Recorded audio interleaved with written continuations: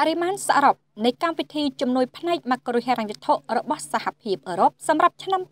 2023គឺ18,000លានអឺរ៉ូឬមួយកណ្ដកសញ្ញា5,000លានអឺរ៉ុបនៅក្នុងមួយខែប្រធានគណៈកម្មការអឺរ៉ុបលោកស្រី Ursula von der Leyen បានប្រកាសនៅលើ Twitter ថា គណៈកម្មការអឺរ៉ុបបានផ្ទេរប្រាក់ប្រចាំខែមួយផ្សេងទៀតចំនួន1កណ្ដកសញ្ញា5000លានអឺរ៉ូទៅឲ្យអ៊ុយក្រែនកាលពីថ្ងៃប្រហ័សសប្តាហ៍នេះដែលជាផ្នែកមួយនៃកម្មវិធីដែលរៀបចំឡើងសម្រាប់ឆ្នាំ2023ជាមួយនឹងបរិមាណសរុបចំនួន18000លានអឺរ៉ូលោកស្រីបានសរសេរថាថ្ងៃនេះយើងផ្ដល់ប្រាក់ចំនួន1កណ្ដុសញ្ញា5000លានអឺរ៉ូទៀតសម្រាប់អ៊ុយក្រែននៅក្នុងជំនួយផ្នែកម៉ាក្រូហិរញ្ញវត្ថុយើងជួយរក្សាសេវាកម្មនិងហេដ្ឋារចនាសម្ព័ន្ធរបស់អ៊ុយក្រែន ឲ្យនៅថិតថេរនៅក្នុងការប្រយុទ្ធយ៉ាងក្លាហានដើម្បីសេរីភាពលោកស្រីបានបន្ថែមទៀតថា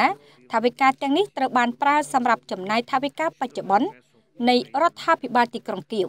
ប្រធានគណៈកម្មការអឺរ៉ុបរូបនេះក៏បានសន្យាជាមួយនឹងអ៊ុយក្រែនថានឹងមានច្រើនទៀតដោយរំលឹកថាកាលពីថ្ងៃអង្គារគណៈកម្មការអឺរ៉ុបបានស្នើកម្មវិធីជំនួយថ្មីដល់ទីក្រុងគៀវរហូតដល់ឆ្នាំ2027